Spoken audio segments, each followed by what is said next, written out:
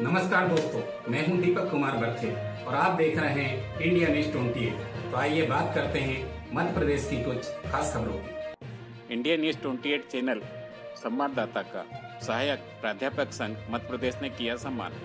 मध्य प्रदेश के भोपाल में प्रगतिशील सहायक प्राध्यापक संगठन मध्य प्रदेश की प्रदेश कार्यकारिणी की वार्षिक बैठक, nine masala restaurant MP Nagar, Bhopal में आयोजित हुई। जिसमें इंडिया न्यूज़ 28 चैनल संवाददाता रवि भास्कर सहित कई पत्रकारों का सम्मान किया गया। कार्यक्रम की शुरुआत संघ के अध्यक्ष डॉक्टर प्रकाश खातरकर जी द्वारा माँ सरस्वती के चरणों में पुष्पार्पण एवं दीप प्रज्वलित कर की गई। इस कार्यक्रम में कई अखबारों और चैनलों के संवाददाता सहित सहायक प्राध्यापक संगठन के लोग उपस्थित रहे। इंडिया न्यूज़ 28 के लिए दीपक बर्थे की रिपोर्ट।